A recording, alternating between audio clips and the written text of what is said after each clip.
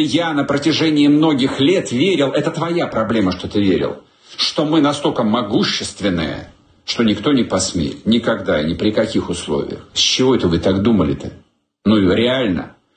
Вот те, кому больше 40 лет, вы с чего так думали-то, я понять до сих пор не могу. Як бачите, на календарі вже 30 серпня 2024 року. Ну і вже навіть найзатятіші рупори Путіна не вірять у всемогутність Федерації. Владимир Владимирович, в феврале 22 года ваши подконтрольные СМИ говорили, что у нас эта операция закончится за три дня. Вы извините, она уже идет третий год. Третій рік, як ми демонструємо, що вони не на тих напали. До речі, аналогічні думки мучать тепер і Соловйова. Він обурений, що на всі атаки заплющуються очі. Серьезно, а что, хоть раз ответ был? Нет. С чего ответ- им понимать? Я вам так скажу, что э, вот... э, от- Северные отвлекаясь- потоки они взорвали, мы не ответили. Крокус мы не ответили. А так и на Курск не ответили. А, то це вони нам ще не відповіли, виявляється. Що ж, давайте тоді подивимося, до чого сьогодні пропагандисти закликають Кремль. Бо вони визнають, що Росія насправді не готова воювати із Заходом, і при владі не вистачає духу бити по центрах ухвалення рішень. Це у Берліні, Лондоні та навіть Вашингтоні. А Мардантов взагалі констатував, що Російська Федерація не всемогутня, тому не варто у відповідь на перетин якихось там червоних ліній чекати від неї удару відплати. А якщо жителі Росії в цей час досі вірять у протилежне, то це так і їхня проблема. Ну принаймні він так і сказав. А инфантильность – это всегда эгоизм.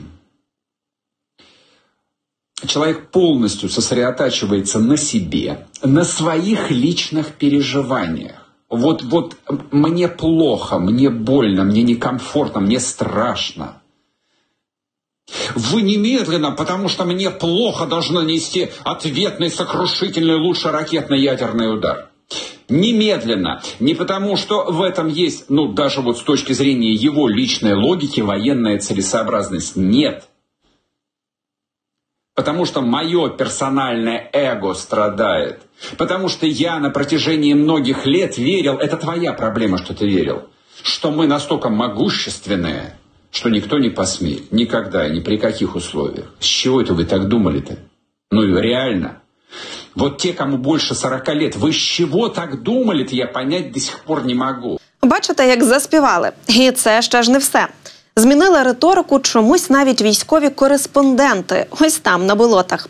Тепер вони кажуть, що у них вже і людей не вистачає, і колишнього потоку контрактників недостатньо.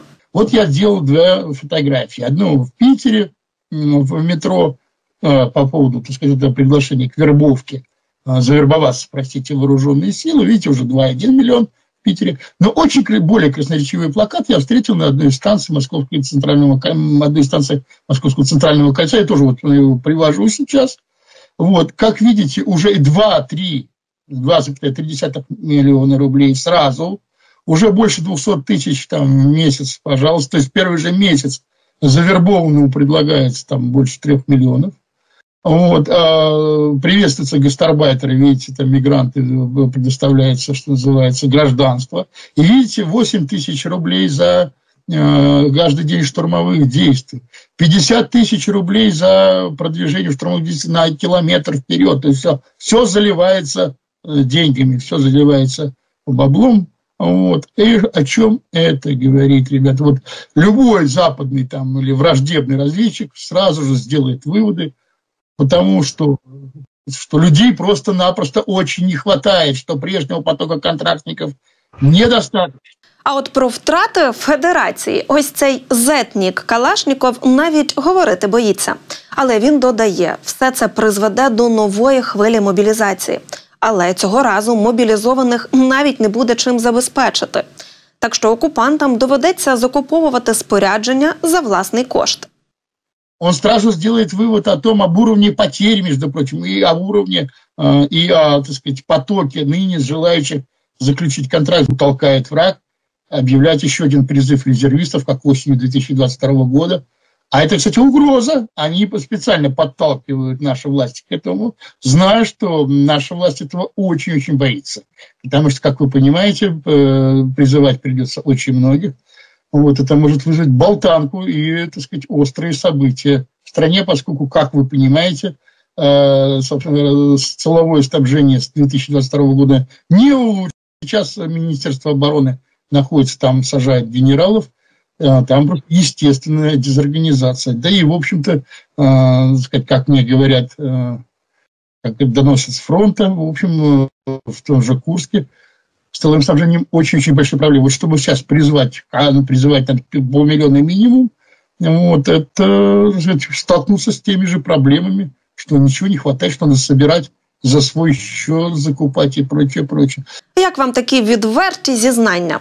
Мені знаєте, здається, це найкраща мотивація для нас з вами працювати, підтримувати збройні сили України і робити все, що в наших силах, щоб пропагандисти і далі буквально волали про свою безпорадність. Бо очевидна всім правда, яку тепер і бачать, і розуміють на Росії, і яку, до речі, говорити вголос там, от буквально небезпечно для життя, таки прорвалася в маси. Врали про то, что все хорошо, там 2 миллиона э, комплектов обмундирования, а по итогу, когда все началось, матери и старушки в тылу должны на фронт посылать там носки и, в общем, скидываться, скидываться всемиром на беспилотники. Хотя говорили, что все нормально и так далее. Арматы нету, этого нету, того нету. И фактически по ходу боевых действий в необъявленной войне, что война не объявлена, нет даже Государственного комитета обороны, нет как бы непонятен статус даже правовой многих действий. Вот здесь вот на территории, где СВО объявлено, значит, там есть определенный статус, да, на территории областей. Президент дал приказ там действовать, помогать.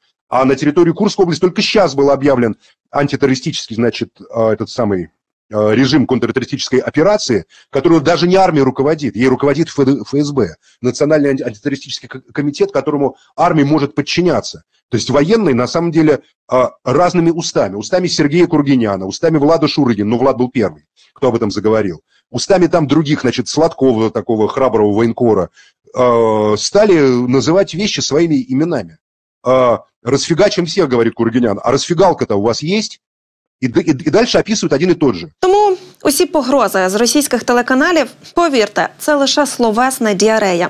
Навіть цей шабаш у студії Соловйова. Что им помешает дать французское или британское тактическое ядерное оружие? Ну, вы понимаете... Они видят, от, от России же ответа ни на что нет, нет. Ну, Нет. на территорию вошли, вошли. Нормально, давайте им дадим тактическое оружие под предлогом, что если вдруг Россия захочет нанести удар тактическим ядерным оружием, у Украины будет чем себя защитить. Владимир Рудольфович, э, потенциал тактического ядерного оружия России и э, Запада, он пока что несопоставим. Что не остановило врага от агрессии. Ну, не остановило, Что да, не но- остановило от ударов вглубь нашей территории, Они от проведения терактов в Крокусе, от деятельности их разведных аппаратов, которым они наводят удары по Крыму. Это же их не остановило. Не остановил. Они считают, что э, мы, э, если применим ядерное оружие, то это в самый последний момент в соответствии с нашей доктриной. Но я, э, я считаю, что, во-первых, э, мы уже в соответствии с основами применения ядерного оружия после того, как они э, атаковали э, нашу станцию раннего предупреждения о ракетном нападении в Армавире, это уже э, так сказать, повод для применения ядерного оружия. Более того, если мы будем применять ядерное оружие, я еще раз, мое глубокое убеждение, применять ядерное оружие на территории Украины бессмысленно. Серйозно, невже таки вони зрозуміли, що у всі ці погрози про ядерний попіл, тобто це їхнє масштабне ІПСО, більше ніхто не вірить? Цікаво, цікаво, правда. А що ж тоді буде далі? Его Поэтому они и применять- дадут Украине ядерное оружие. Потому По- что ответ- ну, на- мы же не отвечаем. Ну, сейчас а Украина скажет, ну, они охуенные. Мы им дали, это уже не наше оружие, это украинское оружие, как немцы. Владимир Говорят, это же не наше, это ну, уже все не... Ну, мы не в это же детском саду, естественно, они понимают, что ответ будет. ничего они не понимают. будет. Да понимают они. Серьезно, а что, хоть раз ответ был? Нет, С чего ответ- им понимать? Я вам так скажу, что э, вот... э, от- Северные отвлекаясь- потоки они взорвали, мы не ответили. Крокус мы не ответили. Атака на Курск не ответили. Атака на наши, извините, места расположения стратегов, на наши глаза мы не ответили. Та ні, ви просто так сильно махали ядерним кийком, що махалка зламалася. А вот что касается Мурманска, то, что Олеся рассказала, и беспилотника Что-то мне это очень, очень, очень не нравится. Что хорошая хороший? новость? Хорошая новость? Конечно. Саш, э, ты Значит, про Мурманск, э, про беспилотник украинский? Да. Хорошая новость. Конечно. Можно поподробнее, пожалуйста? Это э, говорит только о том, что мы не ждем у моря погоды, а готовы в том числе и там, где Украина рядом не валялась. Они, по-моему, не первый раз уже пытаются да, мы аэродром помним, Оленя атаковать. И Ленинградскую, да. Мы и Ленинградскую область помним. То есть каждый, каждая информация о том, что мы сбиваем, и даже на самом деле неважно где, это хорошая новость, потому что мы ждем, мы готовимся, у нас есть для этого необходимые силы и средства. Но это хорошие новости. А хорошая новость в том, что мы действительно мы, мы, мы ждем, и действительно, независимо от того, где находится стратегический там наш аэродром, мы его охраняем. Да. Ну, это, конечно, фантастическая, удивительная новость. Я не знаю, я мог бы это посоветовать, э, если меня спросили бы, и до всего происходящего. Ну, если бы спросили. Вот. Э, а плохая новость в том, что их беспилотники долетают каким-то образом до Мурманской области. Ну, в этом как раз нет ничего удивительного. Тепер цим студійним шурам не вірять і росіяни, і з'являється багато запитань і до них, і до Путіна. У меня есть еще вопросы к Владимиру Владимировичу Путину, касающиеся того, как мы сейчас живем. Владимир Владимирович, в феврале 22 года ваши подконтрольные СМИ говорили, что у нас эта операция закончится за три дня. Вы извините, она уже идет третий год.